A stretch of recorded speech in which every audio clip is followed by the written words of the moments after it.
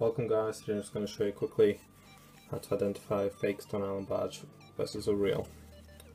So, uh, for two here, which one do you guys think is fake, which one do you think is real? The real one is this one on the right, the fake is on the left. If you've got them in person, the best thing to do is just flip them over, and the best way to identify fake versus real is on the back. As you'll notice the fake, it has a few white threads that don't match the rest of the badge detailing.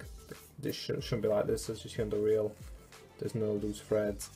And the second thing you notice is sometimes what tends to happen to do is tend to rub the back of the stitching, which makes you see some white marks there, as you can see.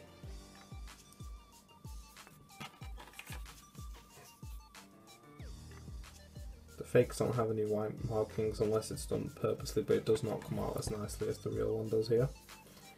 One other tip that people say a lot is if you press the box together, it will not come to a perfect rectangle, but with these high quality reps, it also doesn't come to a perfect rectangle. But as we can see even on the reps and on the real one here, both have these like little drop stitches, so these aren't the best ways to identify either.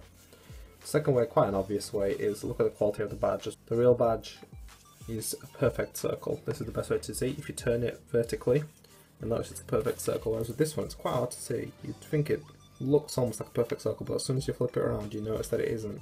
It's in fact quite narrow. So that's also another way to check quickly.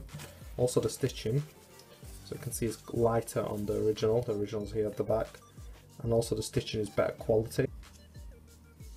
Also the material should be quite like a silky finish on the back here. It's quite smooth. Again, you can see the rubbing of the stitching making it half white, half yellow, half green. So that's a really good indication to look for nowadays.